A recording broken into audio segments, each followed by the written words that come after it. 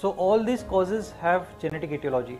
Coming to ENT department, uh, craniofacial anomalies since birth, congenital anomalies that is, hearing loss, uh, the apparatus within the ear, what we know as uh, cochlear uh, apparatus, if there is hypoplasia or aplasia, that means uh, uh, since birth if this organ has not developed properly.